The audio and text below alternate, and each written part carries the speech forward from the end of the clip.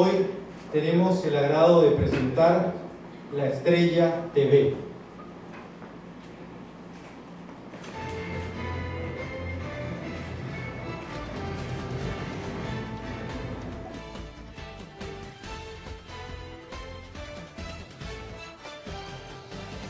el crecimiento que estaba dentro de nuestros planes de estrategia. Esto no es un proyecto que nace de la noche a la mañana, es un proyecto que hemos venido trabajando desde hace ya varios meses y que eh, simplemente demuestra que estamos escuchando a, nuestra, a nuestros lectores y a nuestras audiencias.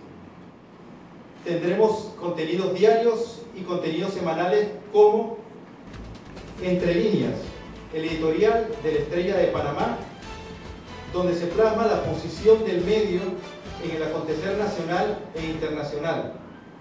Los trazos de Félix, dado que las caricaturas son un segmento muy gustado, inclusive en la televisión, ahora podrán ver cómo se crea ese, esa caricatura en el segmento de los trazos de Félix. Polígrafo, donde se entrevista a los políticos del momento de forma directa con Adelita Coriat. Café Bayano, en colaboración con Bayano Digital, nos tomaremos un café con las personalidades que hacen historia o están haciendo historia en el quehacer nacional. Diversos contenidos de la Estrella de Panamá se estarán incluyendo próximamente. Contenidos como economía, estilo de vida y hasta cocina.